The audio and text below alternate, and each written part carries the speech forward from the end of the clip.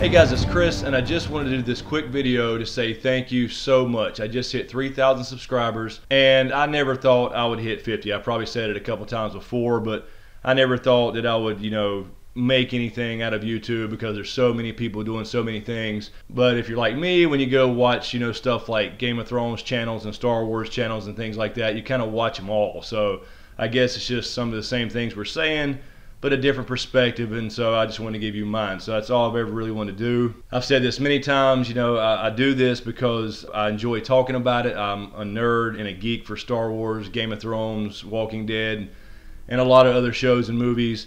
And the entire goal for this channel was always just to create this little community or at least join this community on YouTube and just have a conversation about it. You know, it's as simple as that. 3,000 subscribers is just amazing to me, and uh, I really, really appreciate it. And I really appreciate all your comments, all your kind words, etc. And no matter what this channel gets to, I'm always going to try to interact with you guys in the comments because that's what it's all about. So thanks so much. Let's do it 97 more times, and, and then maybe I can do this for a living or something if you guys enjoy it because I enjoy doing it. I really, really appreciate it. But I thought while we're at this little thank you video, let's talk about really quickly the first three images we've seen now from Game of Thrones Season 6, HBO released a small little teaser for its upcoming season of shows, including three little new clips from Game of Thrones. So let's talk about that really quick.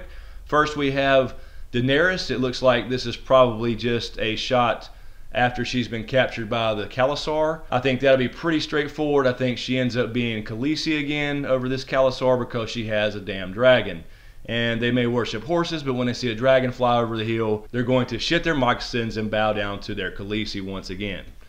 We also have a shot of Cersei, looks like to be hugging Tommen. Looks like her hair's grown back a little bit from the Walk of Shame last season. And not to get too spoilery, but you know, she's probably thinking about this prophecy of Maggie the Frog since she's hugging Tommen. She knows how this is going to end. I think she'll probably last through season six anyway, but she knows how it's supposed to end according to the prophecy we saw in the beginning of season five. And then we have the bastard of Bolton, Ramsay Bolton riding up on his horse with his flayed man banner in the background. This could be one of many, many scenes because we're going to see him quite a bit this year, I think.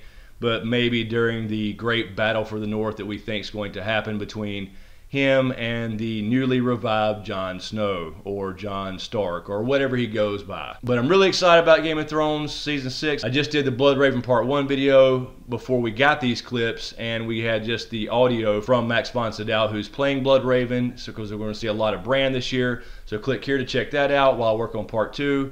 And again, thank you so much, guys. I really, really appreciate it. You have no idea what it means. I know there's a lot of huge channels out there that has great content, but I really, really appreciate it. 3,000 for me is just outstanding and astounding at the same time. Like I said, I, I remember when I had, you know, two, three, four, five subscribers and those are all friends and family. So anyway, thanks again, you guys. Thanks for all the comments and the shares, the likes and subscriptions. I really appreciate it, and we'll keep going. We'll keep doing this. I look forward to making more content, and I look forward to interacting with you.